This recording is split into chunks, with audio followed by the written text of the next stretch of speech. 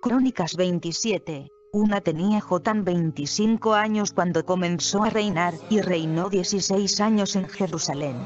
Su madre se llamaba Jerusá, hija de Sadoc. Dos hizo lo recto a los ojos de Yahvé, enteramente como lo hizo su padre Osías, salvo que no penetró en el templo de Yahvé. El pueblo, sin embargo, seguía corrompiéndose. 3. Construyó la puerta superior de la casa de Yahvé, e hizo muchas obras en los muros de Ofel.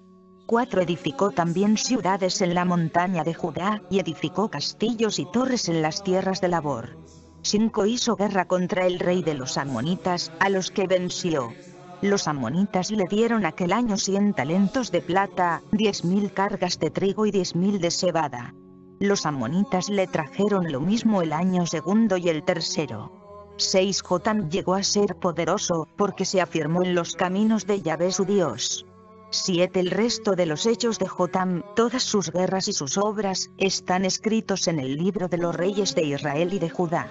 8. Tenía 25 años cuando comenzó a reinar, y reinó 16 años en Jerusalén. 9. Acostóse Jotam con sus padres, y le sepultaron en la ciudad de David. En su lugar reinó su hijo Ahaz.